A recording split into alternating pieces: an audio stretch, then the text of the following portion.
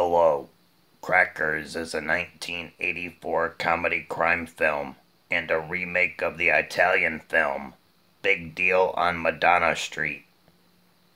It stars Donald Sutherland, Jack Warden, and Sean Penn and was made on a budget of $12 million. It only took in about $129,000 at the box office, making it a flop.